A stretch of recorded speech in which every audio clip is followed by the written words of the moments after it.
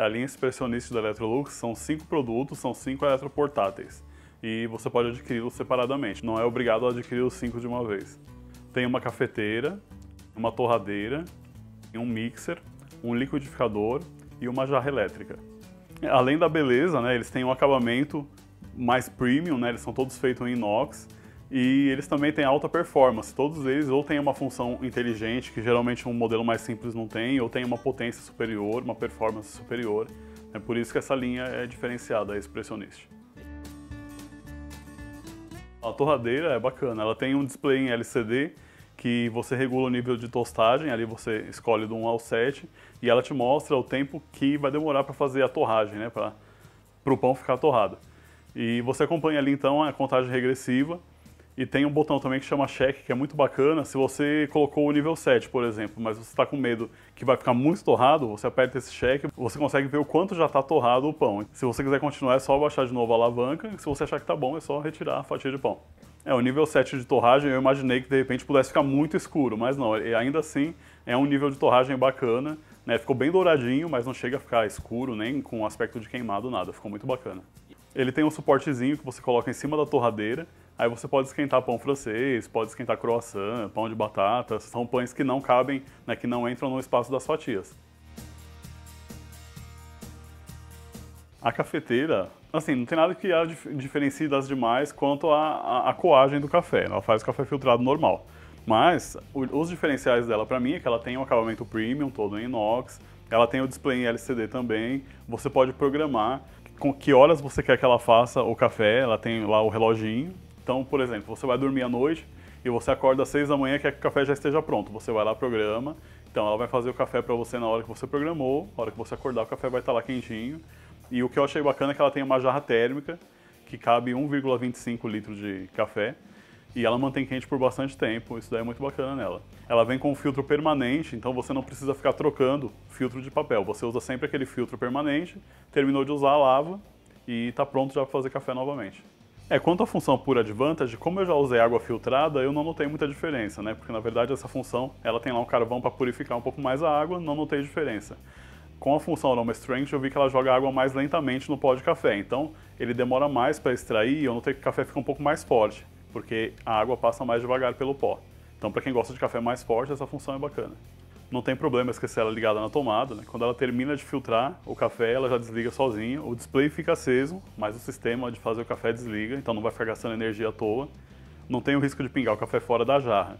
Ela tem um sistema de corta-pingos, então a partir do momento que você tira a jarra da cafeteira, esse sistema entra em ação e depois quando você retornar a jarra lá na cafeteira, se ainda tiver algum café para coar, para passar para a jarra, então daí para frente ele vai voltar a pingar dentro da jarra, não tem problema nenhum. Isso, a jarra elétrica, ela ferve a água sem que você precise ficar tomando conta. Né? Você põe uma chaleira no fogão, tem que ficar lá olhando a hora que vai ferver e tem que ir lá desligar. Com a jarra elétrica você não tem esse problema, você põe a água lá ferver, quando atingir a temperatura desejada, ela vai desligar sozinha, aí você pode pegar a água e fazer chá, fazer café, fazer o que você quiser. Ela tem quatro temperaturas pré-definidas de bebidas, né, para chá, para café, e você pode também só esquentar a água. Você consegue regular lá até de 50 graus, 60 graus. Você pode tanto ferver como só aquecer a água na jarra. Cada bebida tem uma temperatura diferente aí para fusão, para extração né, correta da bebida. Então, se você põe ferver a 100 graus para um chá verde, por exemplo, ele vai passar do ponto. Ele vai ficar, o chá vai ficar até que praticamente normal, mas ainda assim o aroma dele vai ficar diferente do que se você tivesse fervido a 80 graus, que é a temperatura correta para ele. A jarra ela tem capacidade para ferver até 1,7 litros de água, mas você não é obrigado a ferver tudo isso. Pode ferver até 1,7 e ela tem uma função bacana que é o One Cup Turbo. Se você quiser ferver uma xícara de água só, você coloca lá uma xícara, aciona essa função e ela ferve rapidinho. Se ela tem a função Keep Warm, você pode fazer o chá, pode fazer o café lá na jarra acionando essa função, ela vai manter aquecida durante um bom tempo. É, o liquidificador da linha ele é bastante robusto e ele é muito potente. Ele tem 900 watts de potência e essa potência é bacana porque ele não enrosca quando você vai bater uma massa mais pesada. Quando você vai bater um bolo de cenoura, enquanto a cenoura está lá em pedaços, ele não fica enroscando, ele consegue triturar rapidinho. E ele também tritura gelo muito bem, eu fiz o teste, ele triturou bem bacana. Então a potência é boa para você bater tanto massa leve quanto massa pesada, principalmente. Não vai ter o problema de cheirar queimado ou de enroscar. O material da lâmina é diferenciado, né? ele é de titânio e não perde o corte nunca. Ele é bastante potente, tem um copo bastante resistente. O copo é de vidro e é um vidro grosso, que inclusive o copo é bastante pesado. No começo eu fiquei até com medo de derrubar ou de bater na hora que eu estava lá lavando, mas ele é bastante resistente, é bem bacana. Ele tem duas velocidades, né, que é a baixa e a alta para você escolher, e ele tem três programas automáticos. Nesses programas, ele realiza rotinas diferenciadas. Então, para triturar gelo, ele bate um pouco, para para o gelo assentar, ele bate de novo, ele liga de novo, né, bate de novo. E ele faz isso também para smooth, para as outras funções. Então ele realiza rotinas diferenciadas para bater aquele tipo de bebida.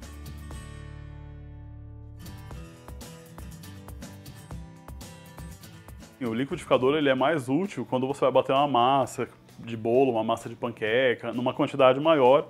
E o mixer é mais prático quando você vai bater pequenas quantidades, seja de bebida ou seja uma massa leve de bolo. Quando você quer bater direto na panela, o molho branco que ele empelotou. Então o mixer é mais prático e ele é para quantidades menores também. O liquidificador ele comporta quantidades maiores. A lâmina do mixer também é de titânio, igual ao do liquidificador. Também não perde corte nunca. Além da haste convencional do mixer, né, que tem a lâmina de titânio, e o expressionista ele traz também um batedor de claras e um mini processador. Esse mixer, além dele ter uma potência bacana, que são 700 watts de potência, ele tem a velocidade normal e a velocidade turbo, se você for bater uma massa um pouco mais pesada, triturar um grão, né, que é um pouco mais difícil. Então você aciona lá o turbo e ele vai dar conta do recado porque ele é bastante potente. O que é legal também é que às vezes a tomada não precisa estar tão próxima do local onde você vai bater né, ou seja o alimento que for. O cabo dele tem 1,8 metro de comprimento, então você consegue ficar um pouco distante da tomada e ainda assim usar o mixer. Eu testei os cinco produtos, são excelentes produtos, eu teria na minha casa tranquilamente. Eles apresentam realmente uma performance muito bacana, superior às linhas que a gente está acostumado, né?